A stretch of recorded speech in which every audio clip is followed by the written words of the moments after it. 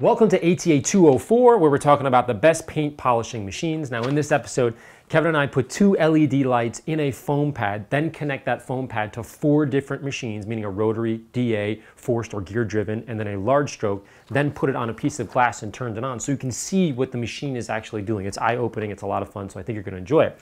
Number two, a lot of you have asked about the ATA 100 series or the beginner series. That's on my website on the training. Click the training button. You'll see uh, uh, beginner, and then you see intermediate, which is what we're working on now, and then podcast. A lot of you have asked, where are the podcasts? The podcasts are on that page, and I'm coming out with a whole new series of podcasts, so stay tuned for that. Now, jumping back to episode 203, uh, which is the top five mistakes when polishing, specifically unclean paint. There is a huge question that's all over the internet and I asked Kevin to respond to it and I would read it on camera to kind of dispel any confusion. So when you have unclean paint, meaning something that's invisible on the paint and you can't see it, you don't know what's there, and you're polishing and it's not working out, right? I'll also post a link of Kevin and I doing uh, with Derek Bemis a, uh, you know, Barry Meguiar's 4GT and we talk about it a lot there, so check that link out. So basically, how do you approach it? Do you have you have one approach, which is to chemically shock the paint, meaning hit it with acids and solvents and very strong cleaners, or option two is doing a thing called the mow down technique. So here's his response to the chemical. He says, Hey guys, it's important to realize that if a cleaning product has the ability to strip, dissolve, or somehow remove that durable protective layer, it also has the potential to simultaneously cause damage to the paint by microscopically dissolving or etching it, or drying via oxidation the uppermost portion of the paint's surface. Furthermore, repeated applications of the paint cleaning solutions that we talked about here can cause paint to swell, become spongy and twisty, and react differently to polishing in the future. He goes on to say, instead of using those super strong and potentially damaging detergents or acids to clean the paint, you simply use more buffing liquid on a separate pad to do a mow down of the affected area, clean the pad, and then move on. So basically what he's saying is a mow down is you add a lot more product on, the, on let's say a microfiber cutting pad, you polish it out. Your goal is to actually embed all of that invisible um, layer of unclean paint into that pad, rip it off, put it to the side, grab a new pad, and then do, do, your normal, you know, prime the pad, do your normal polishing. Now you're actually touching the clear coat. So that was the point that I was trying to be made. Like, hey, if we're doing all this stripping, there's a big craze of stripping the paint. We're going to talk about, we have a whole other video diving deep into the history of why we're stripping and why maybe we shouldn't strip it anymore. Um, you want to be careful because there's some downsides to it. So that's kind of the point. We're going to have more discussion about it, but I hope that clears it up. Now on to episode 204.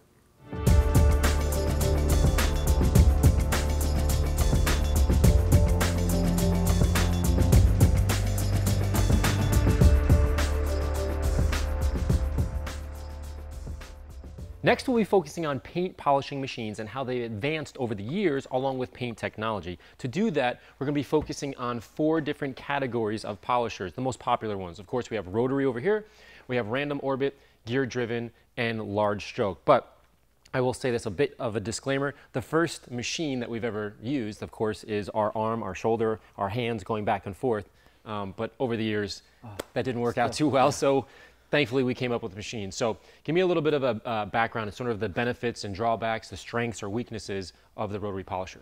Well, when you pick one up, first thing you notice when you hit the throttle, it feels really smooth. You know, it feels like, hey, that's nice.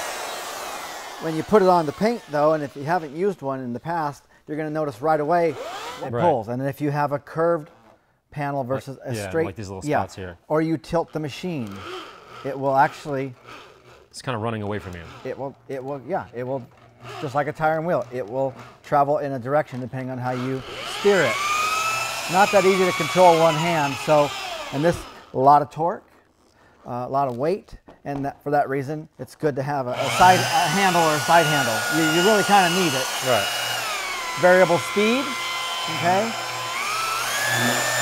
And one thing about that is you'll, note, you'll notice with every machine that as you add speed, the pad starts to glide along and it's easier to control. Right. These are strategic too. That's a big advantage. I can put a one inch pad, a nine inch pad, and everything in between, and this machine can uh, remain comfortable to use and, and utilize that pad in various situations. And, get into smaller areas yeah. as well. You can get into tight spots. Right. Now, one of the things that, why these are so scary and, and a lot of people don't use a rotary is because they can create a lot of polishing energy, uh, the weight and you tilt. Now when you tilt, all of this torque and weight and any force is now, instead of being in a large area, it's now focused right here. Right. That's where we get, we cause rapid paint removal, we cause burning damage. And finally, on edges, they really grab and they can tear your buffing pad, they can burn the edge, they can actually hurt you, Right. knock, knock it into your body. So the, the benefits and, and drawbacks are immense in terms of being able to learn how to use one and actually use one. Uh, but technology has given us other machines to use as well. Right. Okay, so for our test, we're going to be putting the pad that you've designed here, the LED pad, Uh-huh. on our rotary, and we're going to put it on the glass. Now we're going to be doing this for every single machine. So Right. describe what's going to be going on You're here. going to be running through the different speeds, do a little tilt to see if it affects the, uh, the, the pattern that the machine creates and kind of watch what the pad does too. It's pretty interesting. Yeah, the idea here is if you're watching at home, you're thinking, okay, what is the pad doing to the paint? Because I can't obviously see what's going on right now. If, if this was a, a you know a car, Right. What's it actually doing to try to you know Yeah. get that in your mind as we go It's- through the it's going to be much easier to understand the motions versus us trying to draw them exactly, out. exactly. So here we go. Already you can see pure, straight, just constant circular motion. Right. Bump the speed up. There you go. All right, looking good. Do a little tilt left to right. Just a little left, a little right. Great. There you go. So what is this telling us right now? That the machine motion is constant in the same direction and it doesn't deviate. It's just rotational, circular only.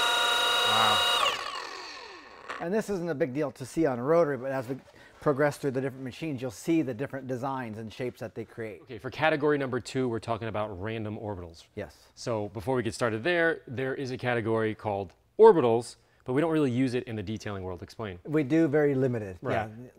This this is about the size of the typical orbital pad or in, in our industry it's for sanding primarily and it's designed to strategically remove a dirt nib.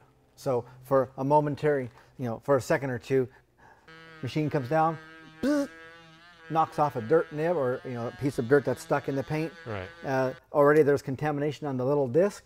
Throw it away and start again. So it's very isolated, usually like body shop kind of thing. Yeah. So it's not really you're Yeah. not really polishing the entire car. Right, it's highly efficient for very strategic sanding only. Okay. Uh, after that, if you wanted to get any polishing action and use it for polishing, you would have to uh, add in motion, the orbital action, by moving your hand around a lot. and So- that would be the random part of it. yeah, that, that's mimicking what a random orbital does for you automatically. Right. All right. So hop into the random orbital. Yeah. What, what would be the strengths, the weaknesses? Okay, well, first let's talk about that action, which orbital action, it just orbits around. Right. But the random part is that the whole backing plate and pad can rotate in either direction as well or not at all. So the orbit is mechanically driven, okay?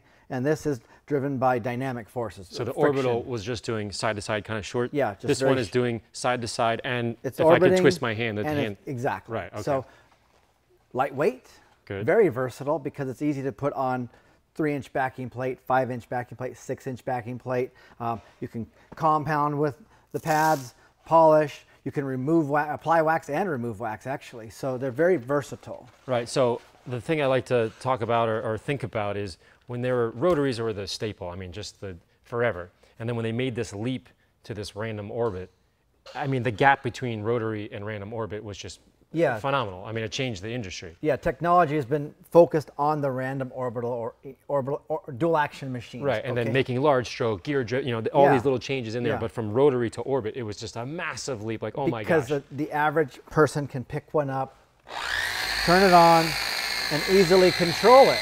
yeah. It's got a lot of It's not running away from you. Right, it's not fighting you and dragging you around. Right. lower torque or lower lower lower power motors Mm-hmm. um, get on an edge, still smooth.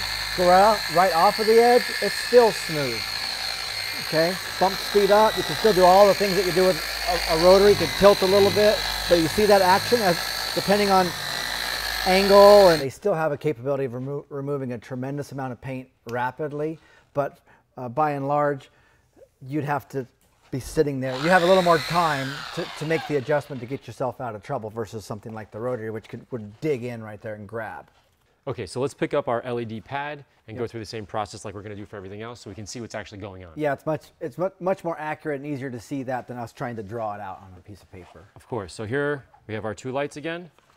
Put it on. I'm on the lowest setting. Yep. Here we go. Can we see it? There we go. All right, there you go. You see the little circles, the LEDs? That is the 8 millimeter orbit that that machine creates. That's the orbit action. Now, you've got some friction between the pad and the glass there, so bump, there you go. Now look at that change already. The shape's changing. Bump speed up. Kind of give it a little shift to the left, a little shift to the right. Moving around and constantly shifting the direction and the shape that that LED is traveling in. A little more speed. Look at that. Pointing. Instead of curvy, it's pointing now. Yeah, it's good. Great. Yep. Very dynamic, constantly shifting, constantly changing. Hard for a particle to stay in place. So if something does stick, it eventually gets knocked out, rolled around, recrushed, reused, distributed, spread around, and that's why these things work so well for rapid cut, long cutting, and then you know uh, when you're ready to finish down, it can be very finesse, fin, you know, finessey and Right. smooth and, and delicate at the same time. So Okay. very versatile. So on to the next one, gear driven. That was the next leap in technology, so to speak. What can you say from a you know strength weakness per- perspective? Well, they they ha- they came out at a point in which we were in the midst of this was dominating. Right. This was not quite yet uh, optimized for its performance. You know, we were using basically rotary pads on these machines, and they were big and tall and fluffy and large diameter, and they just couldn't deliver that kind of performance you needed. Enter in the forced rotation or, or, or gear-driven orbital action, which gives you a constant.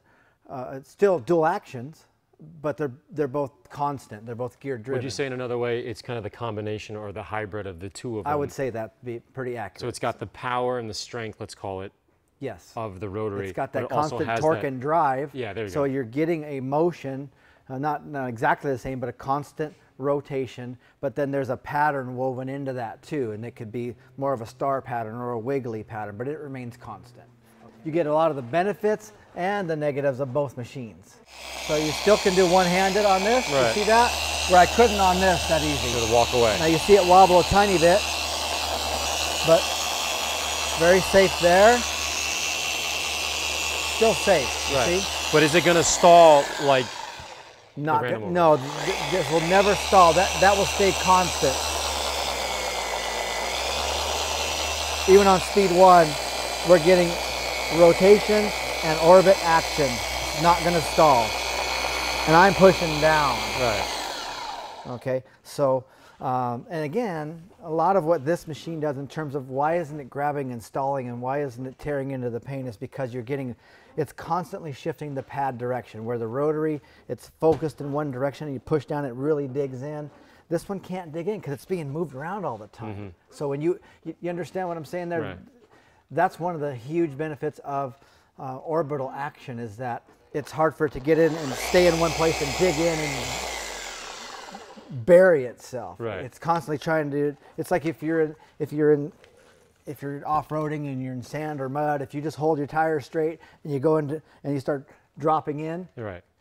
if you don't steer the wheels and all that and give it a little throttle and gas and change up, you know, the way it's driving, you're gonna you're gonna sink. But if you do that and you're shifting left and you're shifting right and the tires are weaving and bobbing, there's less chance of you digging in and, and burying yourself. So in, in our realm, it's less chance of causing that heavy damage There or you go. concentrating everything right there. So you still got kind of get the strength, but you a- and you increase the safety and you sort do. of take away a bit of that danger of what you're talking about, digging the Sure, wheels in. sure, and it's equally capable of cutting rapidly or delicately. And so when we switch pads and, and, and put it on the, the machine over here, the gear driven, what are we going to see? you're going to see a constant pattern. Now, You, you may have a, a, half dozen different brands of machine that are in the uh, forced rotation orbital or gear driven. They all have their own little nuances of how they design their, their, their movement, but it's going to remain constant. Okay, so let's give this one a shot. Okay.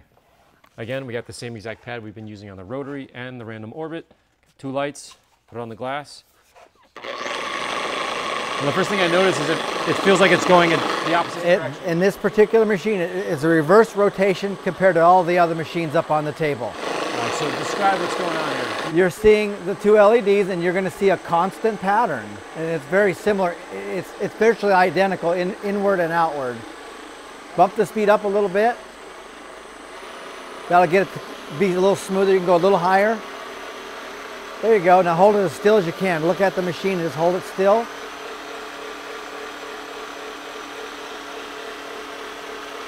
And even if you move it up and down and left and right, pattern, the LED pattern is staying the same. Yeah. Good. Even if I tilt it, it's, it's keeping Yeah. the same pattern. That's right.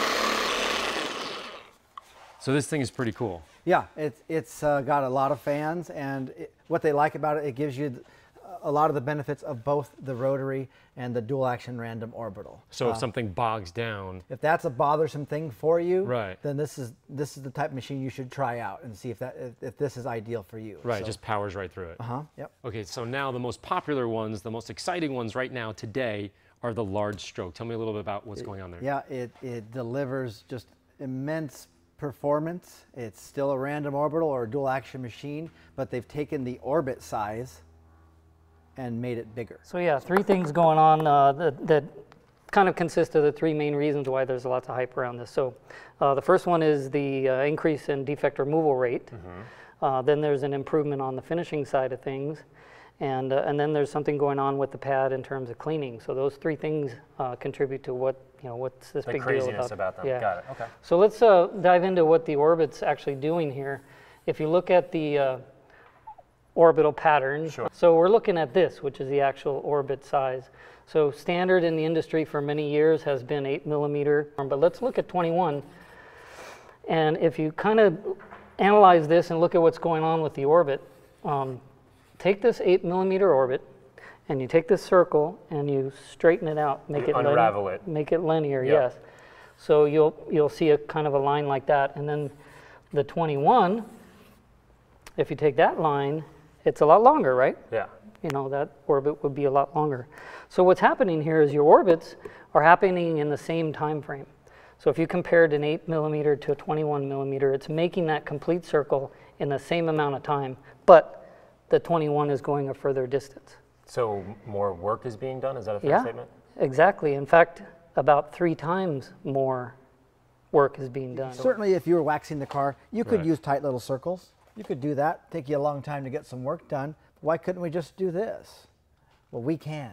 Now, if you happen to be in the woodworking industry and you try to use this type of orbit and try to get inside of a box, you're going to bash the side, bash, bash, bash. Right. Not only that, you can't get into this area. Okay, so so the short, shorter stroke or small stroke machines are ideal for strategic polishing. If I wanted to Like, like this, like rotary.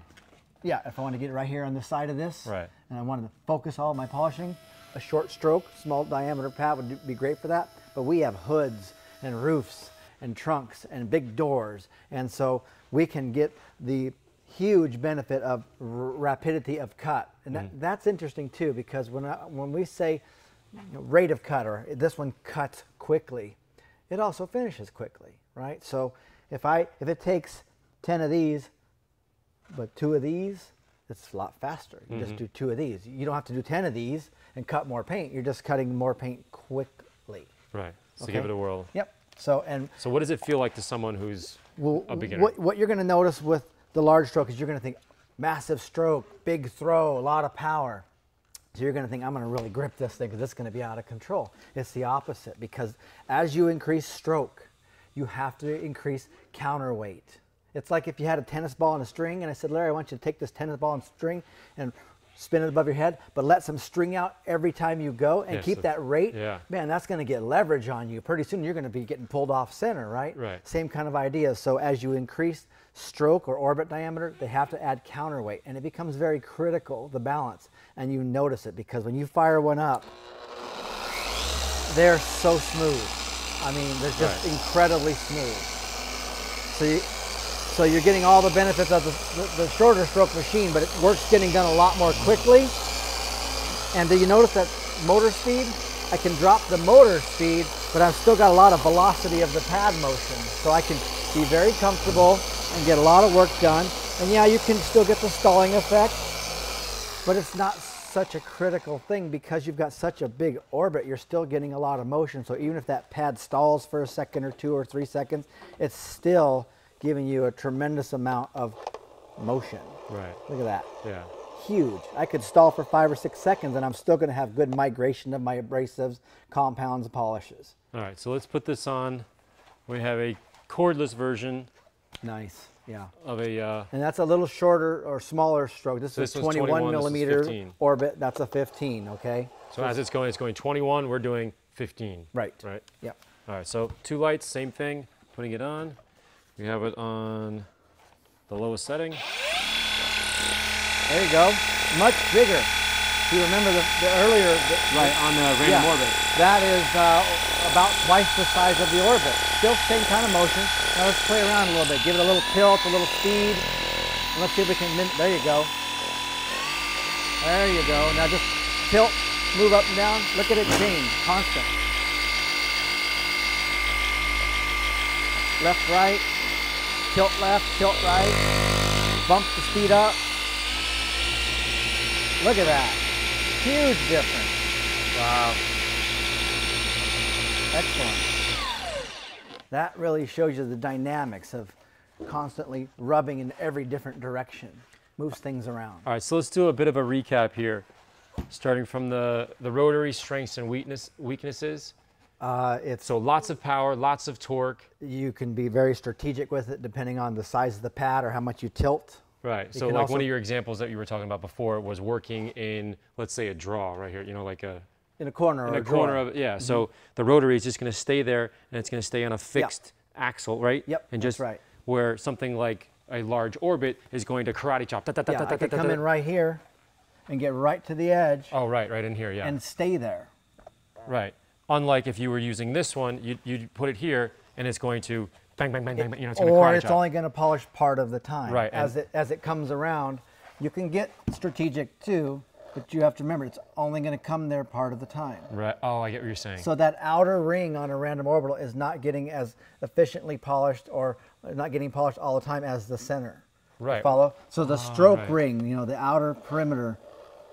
where a rotary is 100% of the time wherever it is you put it. Yeah. This because This it's one, because it's like- random, you're catching it every yeah. third time. We'd get the same effect with a rotary if we took the pad and we had it we had it off center a little bit. It would wobble too, right? If that was not centered and I turned on the machine, it would wobble too. Oh, I get it. You follow? Yeah. Okay. All right. So now with the orbitals, we made it a lot easier, a lot safer, lighter. Uh, anyone, you know, the garage, the weekend warrior, whatever you want to call Yep. it. It's not it intimidating, very easy to pick it up, put on a variety of pads, use it with a variety of liquids, and get a pretty good result. Right, and it stalls, giving you what would you know would be a safety, a margin of It- safety. it's safe and it's comfortable. Right. Right, because you come over an edge and it's not steering you around. It, it's stalling for a reason. It helps keep that in control. Right. Then we bumped up to the gear driven. So we said, okay, we have the rotary, we have the orbital. Let's kind of smack them together, have a hybrid type thing where Mm-hmm. instead of the stall, right, we're going to blast through that stall. But at the same time, we're going to give it a random orbit so it's less likely to burn through. That's right. And keep in mind that at the time when those were becoming very popular, it was it was a great transition between the tried and true decades old rotary with the hey this is interesting random orbital but i don't have the right pads yet for it so it would stall a lot and buzz a lot that was a great uh, choice to, to give you the best performance of both of those Of course. Then we moved all the way up to the big boys, the 15 millimeter and the 20 millimeter large stroke. And now that, that stroke is getting a lot more work done within the category of you know, these random orbits. th- the higher quality machines they're very well balanced very well built and they're comfortable to use uh, extremely capable in cutting and finishing potential uh, even a beginner could start with one and say wow i'm great at this matter of fact um, on my best day, when I first started using the large stroke, I would say, wow, how can I compare this? I could say, well, on my best day with all the best equipment, everything I know with this machine, um, I could mimic that performance with that machine and do it in half the time. Or if I use two pads and two liquids with this one, I could do it with one pad and one liquid with that one. They're so efficient and good at what they do. And I think as the technology is going, the latest thing as of today, the, the, you know, this shooting, you know, this filming here is now we have cordless, which is Yeah, pretty amazing. Cordless. Yeah, everything is is moving into the cordless realm. So I'm pretty excited for what's going to come out. I don't know what's going to come out next, but Yeah. it seems to be uh, going quite well. So the bottom line is this: I think you would agree. There is no best polisher by any means. What is your goal? Which one do you like to use? How much time do you have? And, and that dictates which one you should pick up and, and utilize in that situation. Because you could certainly cut away paint rapidly with any of these, and you could finish out paint beautifully with any of these. So on the next episode, we're going to be talking about pads, liquids, Yep. and how they're interacting. What else? It's the most exciting segment for me because it's it's it, can ch- completely transform performance on one on one given machine. Right. So, of course, if you have any questions, shoot me an email at larry at ammonyc.com. Click on the link above. You can watch all the episodes uh, that we just already shot. And uh, we'll see you guys in the next one.